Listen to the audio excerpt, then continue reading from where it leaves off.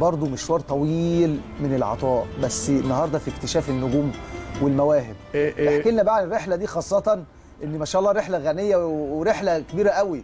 يعني كابتن إبراهيم اكتشف نجوم بقوا حاجة كبيرة آه. في الكورة في مصر. الحقيقة يعني الأول أنا بعد ما بطلت من النادي الأهلي هنا 75 76 سافرت في الإمارات. آه. لعبت سنتين في نادي الوصل. آه. وبعدين اتجهت للتدريب. مم.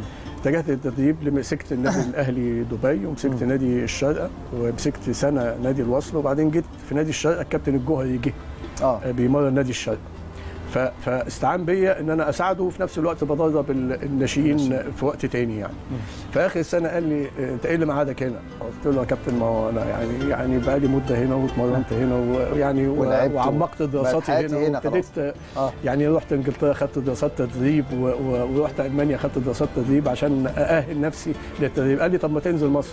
قلت له ما يعني الظروف ممكن. قال لي لا انزل مصر وأنا هحطك في قطاع الناشئين. قطاع ناشئين في النادي الأهلي؟ في قطاع الناشئين سبت كل حاجة. آه. سبت كل حاجة ورايا مع إن طبعا المقابل المادي كان كبير جدا هناك. بس النادي الأهلي ما تقدرش ما أقدرش أقول لا. آه. ما أقدرش أقول لا. آه. يعني أفضلوا أفضلوا عليا كتير قوي النادي الأهلي. آه. وأفضلوا على الناس كلها. يعني مين يعرف إبراهيم عبد الصمد إلا من خلال النادي الأهلي؟ وبالتالي لما بتجيب سيرة النادي الأهلي إن أنت هتشتغل للنادي الأهلي عايز آه، تأدي دورك إن أنت الجميل اللي عمله فيك النادي الأهلي إن إحنا آه، نرد له نرد له الجميل ده. آه. في في علاقاتنا مع الناشئين وإن إحنا آه، آه، نطلع الناشئين يقدروا يتميزوا ويلعبوا الفريق الأول. وبالتالي رجعت مسكت آه، الناشئين هنا. أبرز اللعيبة بقى اللي طلعت وقتها من قطاع الناشئين. والله يعني يعني مجموعة اولا تدرجنا كتير. يعني آه. مجموعة كبيرة جدا. مجموعة ال- المدربين طبعا إحنا بنتبادل إحنا السنة دي أب- 14 السنة اللي بعديها 15 إنما من أبرز الناس اللي كملوا مثلا هاني رمزي من الناس اللي أنا مسكتهم في 20 سنة. آه. محمد عبد الجليل عمرو أنور.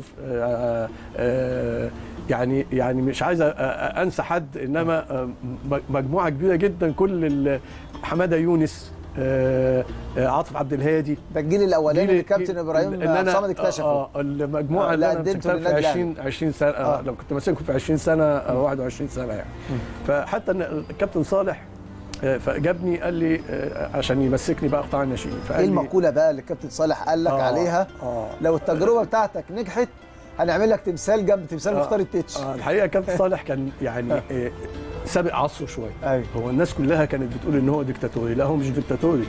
هو هو كل قراراته نابعة لمصلحة النادي الأهلي. آه. وبالتالي آه، آه، ال- القرار اللي بيقوله آه، نابع من المصلحة. ما فيش آه. مصلحة شخصية. آه. مصلحة النادي الأهلي.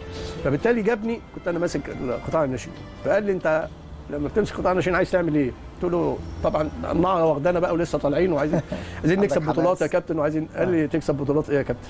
تكسب بطولات إيه؟ أنا ما بفكرش على البطولات أنا طلع لي اتنين آه كل سنة الفريق الأول وأنا هعمل لك تمثال جنب التتش ده مقولة مهمة ما جدا بنساهاش آه يعني حتى لما ب... يعني ب... ب... ب... لما في فرصة.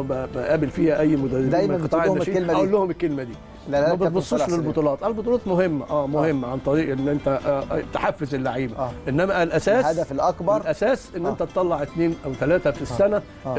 للفريق الأول هو ده المكسب وبالتالي آه، آه، اكتسبت ال- الكلمة دي على على طول مشواري آه، في في قطاع التدريب